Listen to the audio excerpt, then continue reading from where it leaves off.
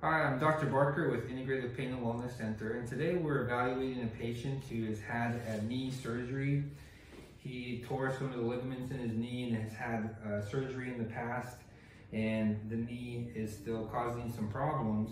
And one of the things that can happen after a surgery or a trauma is it can cause autonomic nervous system dysfunction.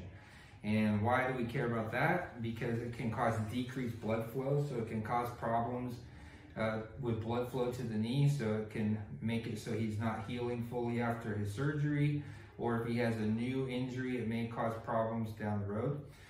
The second reason is it can cause either local or referred pain. So somebody with a history of a knee surgery with autonomic nervous system dysfunction could be coming in 10 years later with hip pain and we are focusing on the hip and treating the hip and even imaging the hip and nothing is really working and there's nothing wrong with the hip, it's because the pain is coming from the knee. So the way that we determine if there's autonomic dysfunction from a trauma or from a surgery is with muscle testing. So you come zoom in on these scars. He's got a scar here, here, here, here, here, and one up here. And so if I just put my fingers over the scar, now uh, this is my strong patient, and so he's gonna resist me. It's important that he's not holding his breath. And I put my finger on the scar, so right here, he's strong. Put my finger on the scars, he goes weak. So if there's autonomic dysfunction, just contacting that part of the body causes all the muscles in the body to go about 50% weaker. And then we determine if this is a priority or non-priority by having the patient hold their breath. So now take a deep breath in and, and resist. So strength came back with breath holding, so we know this is a priority dysfunction. We'll check the next scar, so breathe but resist. Okay, breathe but resist again. Okay, so this one's testing normal. Next scar, breathe but resist. Okay, deep breath in and hold.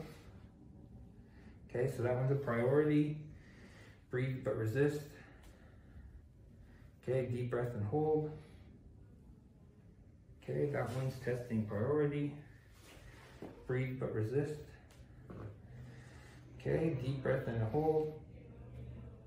Good, priority. And one last one. Breathe but resist. Okay, deep breath and hold.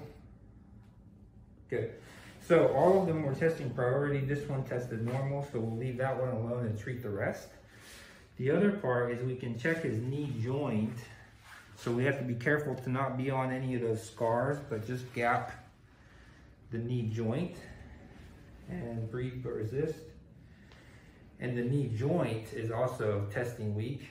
Now deep breath and hold and testing as a priority. So to treat the joint, we would treat the whole joint around treat the scars. We're just going to treat the scars. And this is a technique called neural therapy.